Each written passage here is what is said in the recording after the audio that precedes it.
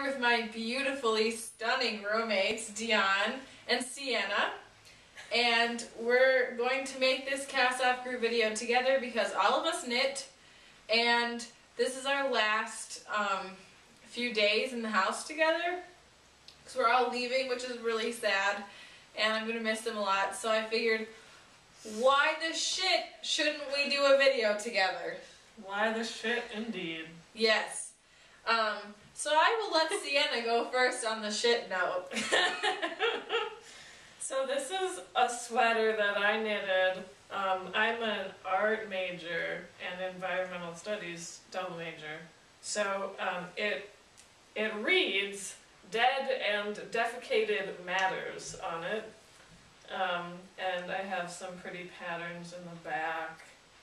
Um, and it's all wool. Olivia actually gave me this brown wool at one point. It's very much appreciated. So that's that.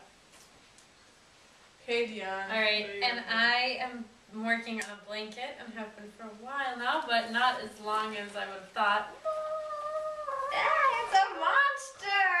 Oh, sorry, No, I hit you in the head. It's okay. It wouldn't be the first time you've hit me. Oh no, what?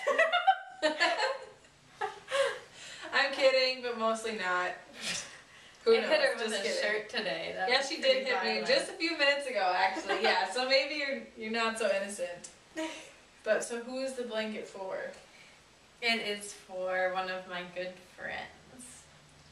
How nice of you. Um, I have one finished object this week, which is this hat, which I'm very happy with. I knit this when I should have been studying for some of my finals. And I made it with this yarn. If you could identify this yarn, I would be really appreciative. It's an acrylic. I can tell from feeling it. It's a worsted weight, I'd say.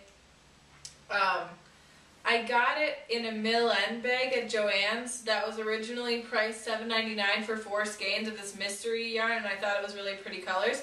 So I bought it, and then when I got it to the register, she said your total is $3.50, and I was confused because I had given her my student discount, and I'm like, that's only 10%, it shouldn't be that cheap. But it was already 50% off. So I got a crazy good deal, and so now I will be making a lot of hats with it, I'm sure. And this blanket that I'm working on is almost done. So this is what it's looking like so far.